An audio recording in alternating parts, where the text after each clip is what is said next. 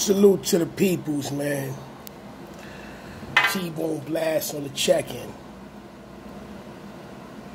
Um,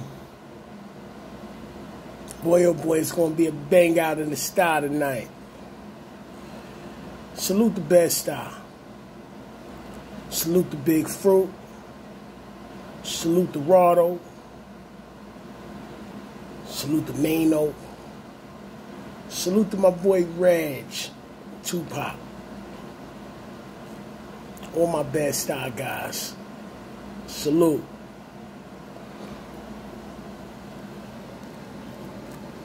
A lot of people don't know I was actually born in the Stuy. And um my family moved, I'm born in 75 my family moved to the Ville in 77. They said housing told my mom she'd only be there for about a year because my mom's, you know, my mom's and my pops, they grew up on in Bed-Stuy. My mom's lived in 336 Lexington Avenue, Lexington and Ocean. My pops lived on Greene Avenue. So when they got their apartment in Van Dyke, it was supposed to be for a year. But I think they was just telling people that to get them in there. Nevertheless, that's where we was at. I'm I'm Brownsville, hands down. All my first was in Brownsville. But together, Brownsville, Bed-Stuy, Crown Heights, East New York, Fort Greene, Red Hook, Bushwick, Flatbush, um, Coney Island, etc., etc. We all Brooklyn, 718. Shout out to St. Laz.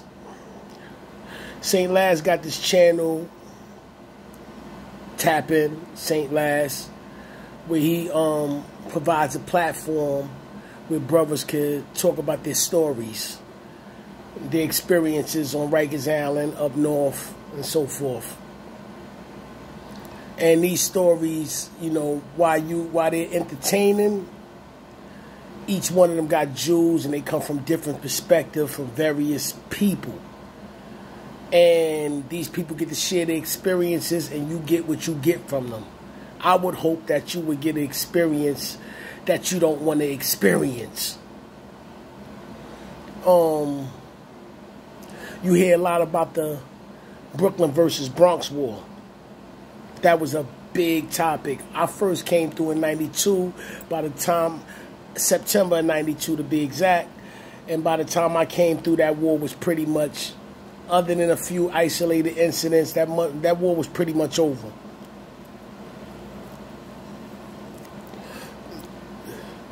From what I understand, Brooklyn won. I'm from Brooklyn, so of course I'm going to applaud to that. But here's the thing. After Brooklyn did what they did, Brooklyn, while it was nowhere and nobody else to really go at, they go at each other. That's what we do. We do it in the town, and we do it in the prisons. And that was the case with Fruitquan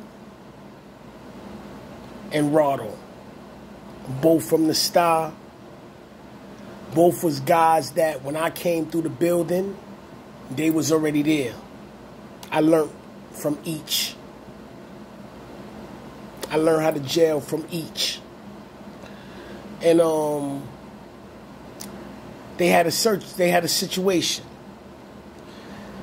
where um there's different sides, but there's one thing that everybody agree on.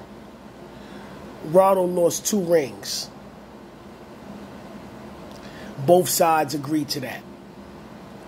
Did he lose them because um did he lose them due to him letting somebody hold it on a visit and they slow deaded him or did he lose it on some strong arm Brooklyn shit? Dope fiend, ring slid off the finger. That's where the story differ um, along a couple of, along with a couple of other um, things or whatever. I'm hoping that these two brothers, this happened in 1992. That's 30 years old, 30 years ago. These brothers, Fruitquan got a show called The Big Fruit Show. Tap in. These brothers is going to discuss that situation. Another thing they both agree on that something did occur in that two building. What occurred? That's yet to be heard. But this is LG and NA Rock, who, from what I understand, have a long history of back and forths. And sometimes it spills over into the prison system, such as this. But I don't think this had nothing to do with that. This is just some random shit. But these brothers, 30 years later, is going to sit down for the first time and discuss it somewhere around like 10 o'clock on a big fruit show on YouTube. Tap in. Fruit is to um, be talking while Rod.o is to call in, or Fruit might call Rod.o. Rod.o. But they're to have a discussion and they're to discuss that incident. And God willing, it will have a positive resolution because that's just what that's what this is all about. It's already been done. These stories and got a lot of adversaries together. Let's make that the case this time. This message is Brooklyn approved. Salute.